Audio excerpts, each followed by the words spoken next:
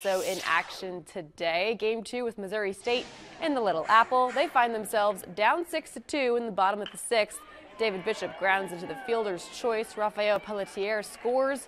It's going to be six to three. Then the bats explode in the bottom of the seventh. Nick English goes the other way.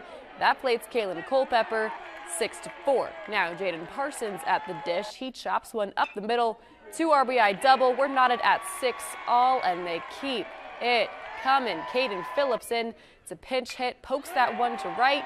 Two more runs cross home plate. It's 8 to 6 K State. Then the leadoff man, Chuck Ingram, he's up at bat, barrels one up deep to center field.